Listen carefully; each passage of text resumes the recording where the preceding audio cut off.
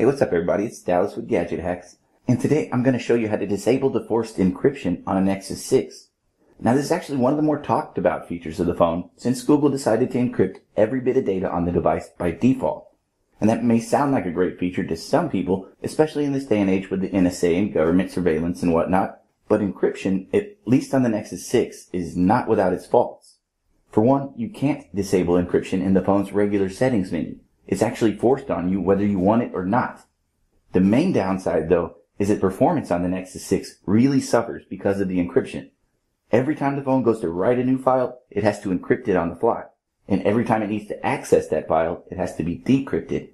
And since the Nexus 6 has no dedicated hardware for this process, that means the main processor has to deal with a lot of extra strain as it's doing even the most mundane tasks. As a result, read and write times, which are a central part of your device's performance, end up being about three times slower than they would be without encryption. Then when you factor in the issues it creates with custom recovery mods, and the fact that its main use case is really not that practical to begin with, encryption starts to become more of a detraction rather than a feature.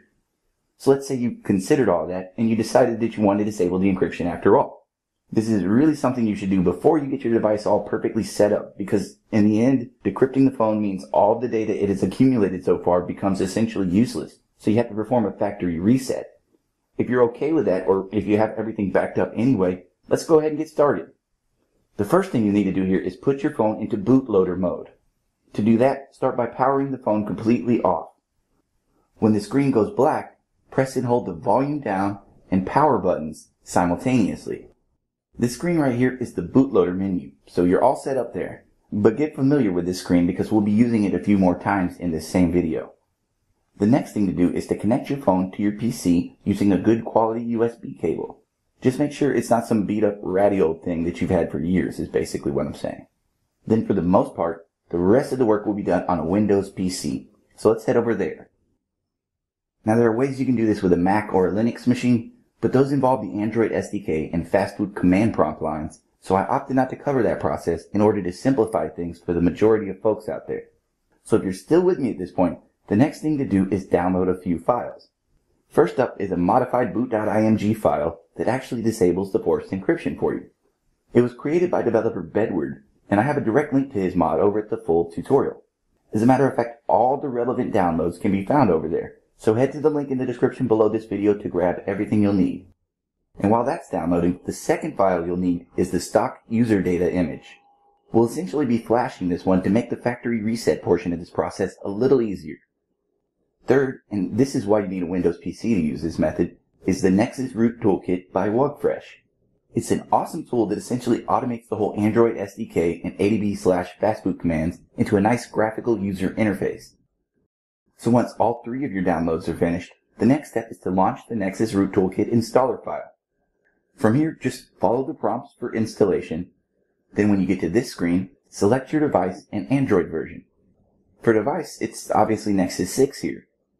Then for Android version, go with 5.0 LRX 210. After you hit apply here, the toolkit will ask to download some additional files. Go ahead and let it download everything it needs. Now when you make it into the actual toolkit for the first time here, make sure to hit up this option right up top, Full Driver Installation Guide.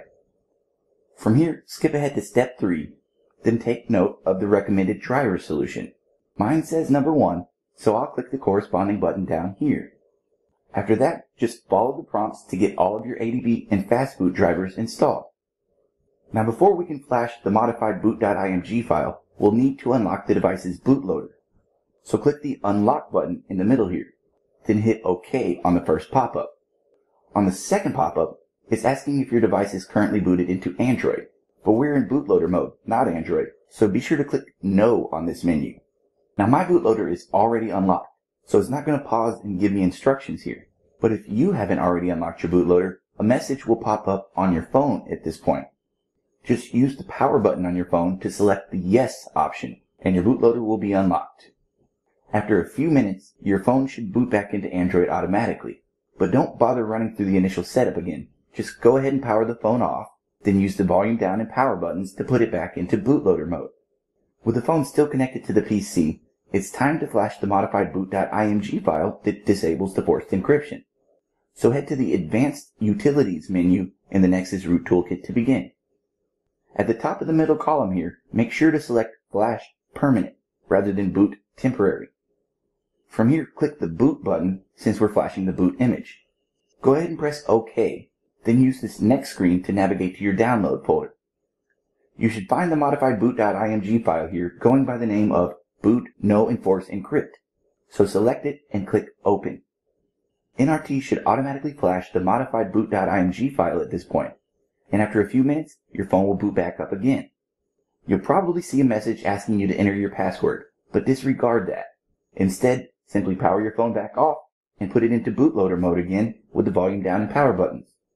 Finally, we'll flash the user data image to factory reset the phone and clear away the encrypted data. So with your phone still connected to your PC and in bootloader mode, go ahead and click the User Data button in the middle column of the Nexus Root Toolkit's Advanced Utility menu. Again, press OK, but this time select the userdata.img file. When NRT finishes flashing that, your old encrypted data will be cleared away and you'll be free to set up your phone with the encryption disabled altogether. So you'll have to go through initial setup again and put in your Google account info and all of that, but your read and write speeds will now be about three times faster and you'll likely see improved battery life as well. And if you plan on installing a custom recovery or rooting, you can do all of that without any of the issues that forced encryption would have caused. If you'd just like to verify that your phone is no longer encrypted, go to Settings, then Security, and the entry that used to say encryption is enabled will now say encrypt device instead. And I know this was a lot to absorb from one video, so if you want to follow along at your own pace, be sure to check out my full tutorial at the link in the description below. As always though, we'd appreciate it if you would like and comment on this video and subscribe to our channel. So we'll see you again next time folks, but until then, happy gadget hacking.